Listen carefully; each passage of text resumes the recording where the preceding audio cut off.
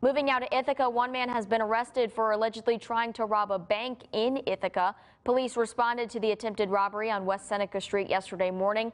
They later located the suspect, 51-year-old Edward Warren, several blocks away. He was charged with attempted robbery and arraigned before the Ithaca City Court. He was remanded to the Tompkins County Jail.